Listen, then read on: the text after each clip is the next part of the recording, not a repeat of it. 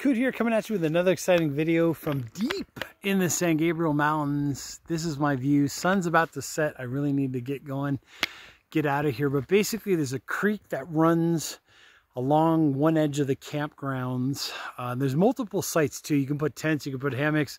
I've done all this in other videos. I got up here today bike packing. So beautiful time of year to do this. It's around December. It's cold though, 37 overnight low.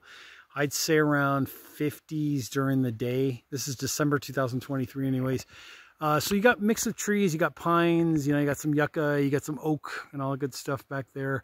A lot more pine than oak, I guess. Uh, there is a lot of poison oak up here too, by the way.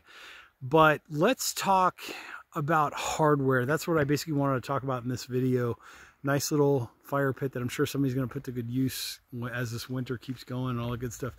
But anyways, let's talk hardware. So this is the case that I use for my hardware. This used to be my old first aid kit, uh, but any, you know, any kind of like bag that has like some nice, good, you know, material to it, like a nice, good, thick, you know, material is what I like to, what I like to use. But let's talk hardware. So these are great. These little Petzl, these are like rock climbing you know, like a rock climbing, uh, easy, whatever it's called, thing even jiggy. I'll put a link down below in the description.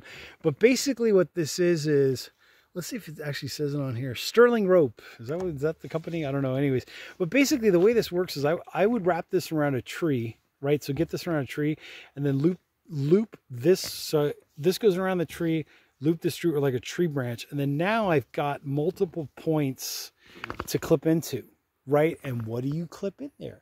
You clip in like your MSR dromedary bag, or you clip in like some clothes or some boots or some shoes or whatever. So if you don't have like a good branch to hang from or clip from or whatever, what you could do is you could always go around the trunk of the tree is basically what I'm trying to say. But that's that's what this sucker is for. Okay, so then I've got nylon webbing, and this is just an example of like, you know, the nylon webbing that uh, I would bring, usually I bring a piece that's like 10 feet, sometimes 15 or 16 feet.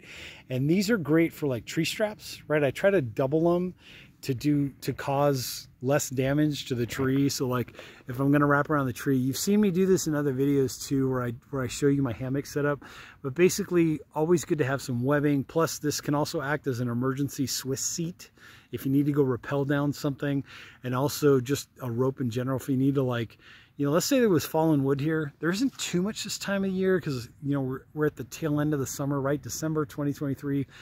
So a lot of the wood, like there's some, there's little bits and piles over there. But if this was a plentiful fallen wood, you know, dead wood campsite, what you could do is wrap this around like a few logs and then drag this back to your to your fire pit or your fire ring or whatever. So that's another good use for this. Okay, then I've got uh, the S-Biners. S-Biners are fantastic. So there's what the S-Biners look like. Uh, and these these are some of the many sizes that they come with. So there's a large, there's a medium, there's like another one, there's another one. I think all these are numbered as well. So if I look, see like that's a number five, 100 pound. This one is a number four, 75 pound weight rating, right? This one is a number three, 25 pounds. And this is like the little mini guys. This is a number two. This is rated for like 10 pounds, but different uses. So what I, what I will typically do is like, this will be something that'll hold my pack up. So like I might clip into here and I might clip my pack on one side and then clip that into the other side. These, uh, these size or this size, this is what I usually put my tarp on. So like you don't realize how strong the wind is until it gets windy, even with snake skins or whatever. Like you don't realize how strong the wind is. So I use these on either end of my tarp. Uh, then I've got some like light line cord here. I, I, I, will put links down below. I think this particular this particular brand has like the glow in the dark neon stuff. So like it's reflective, which is a good thing because when you're walking around with your headlamp, you can actually see everything. Uh, so then I've got these uh, whatever the whatever size this was. What was this? This was a uh, number 325 pound. This would be something like I would I would do like my CNOC Vecto water filter system with the HydroBlu. Like I would clip that into there. And then these small ones, you use these things for everything. Like I have I have the Warbonnet black or sorry, Warbonnet Superfly, the Superfly tarp. So I use this to keep the doors closed you know, or you could hang like clip these into like a pair of like the laces in your boots and you could hang your boots up at night so they don't, the creepy crawlies don't go in there. But great little, great little piece of kit are those S-Biners. Okay, then I've got the tent stakes and these are, wow, you can use these things for everything, right? Um, you can use them to stake down your tarp your hammock wings. Like I have a Warbonnet Blackbird XLC double, I believe it is. So I've already, this same material, the same paracord material, this really thin cord material, I've already pre-looped this. So all I got to do is just loop through with like the tent or whatever, or you could always clip like an S-Biner right into there so that you got that action going on. Sorry, so you got that action going on. So then you get then you can like clip into a tent stake if you need to for whatever reason. But these are great. These are, I believe these come in three different sizes. There's like a bigger version that's like for, there's like a bigger version that's like for snow or sand. Then there's like a smaller version.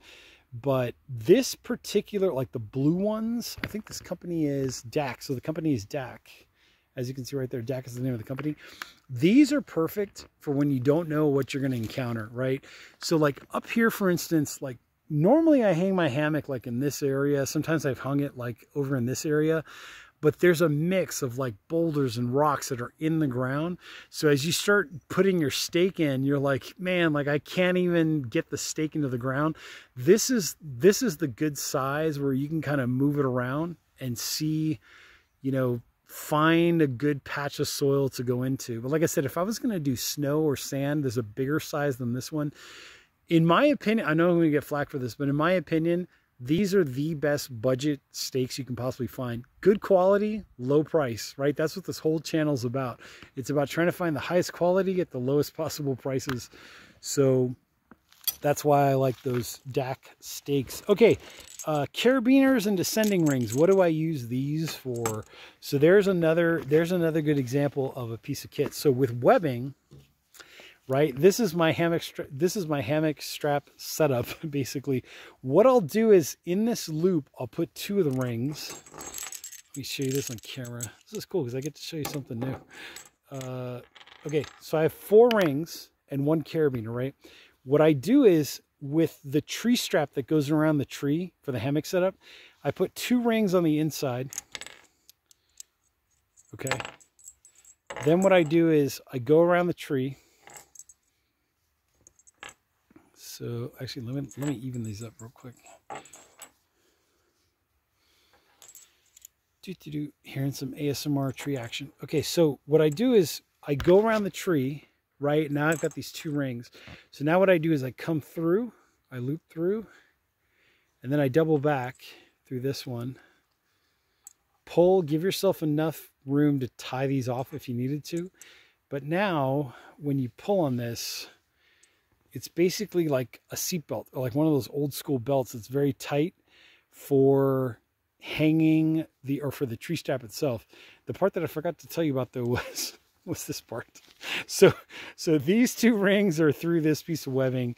Then these two rings, these two rings are going to go around. So both go through, right? So I got two on the inside loop, if that makes sense, two on the inside loop. And then I got two that are going around both. So then this comes through, right? This goes here so now I can pull this tight. There you go. So this goes around the tree. And I always put the buckle around the back side of the tree. And this is in the front side of the tree. So now what I can do is here now I can get another piece of webbing. Let's use this as just an example. Uh, I better not do it because I'm going to get flack for it. But anyways, you get the idea. Basically, then I can loop through more webbing, do the same thing, and I can keep daisy chaining and daisy chaining as I go. The way I connect the hammock to the piece of webbing is basically this goes through, I have a loop at the end of my hammock, right? I believe it's Dyneema cord, something like that. Uh, Dyneema is like super strong. It's really lightweight, but Dyneema cord is basically like like in a loop at the end at the end of the hammock, at each end of the hammock. So this carabiner goes into that loop, and then this whole thing goes here. So basically, it's Dyneema loop here, the carabiner, and then this. And I like the locking carabiners because that way, if you're fumbling around in the middle of the night, there's no way this thing's going to come undone and you're all set. So basically, that's what I use this for. anyways, if you do like what you're seeing, this is basically the hardware for not only, you know, hammock stuff, but also tent related like the stakes and also just general campsite, you know, tidiness, organizing. You get the idea. If you like what you're seeing, hit the like button, hit the subscribe button down there below, wherever that is. I will put links to most of this down in the description section. These descending rings are like, was it 14 kilonewtons? I mean, that's just ridiculously strong. Like you are not going to break one of these by hanging a hammock on a tree. I mean, even if even if you and four, you know, four wild animals decided to jump on the hammock at the same time, the hammock is going to break before these rings do. The straps themselves are rated pretty strong, pretty strong, whatever that means. And then these carabiners, let's see, these are 24 kilonewtons if you just do this, right, and you locked it. And then I think it's seven kilonewtons this way right? So seven kilonewtons this way. And then I think it's like another seven kilonewtons if you leave this open for whatever reason and you're hanging this way. So the, the important thing is like, if you lost this for whatever reason and you were just using like a hook, like seven kilonewtons, if you have this on and you lock it like a locking carabiner, 24 kilonewtons. And then if you try to go this way, it's seven kilonewtons. Does that make sense? I hope so. Anyways, comment down below if you like what you're seeing.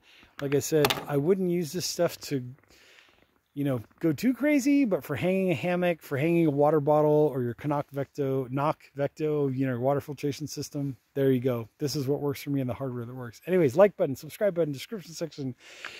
Check out this view again, and we'll catch you all on the next exciting video.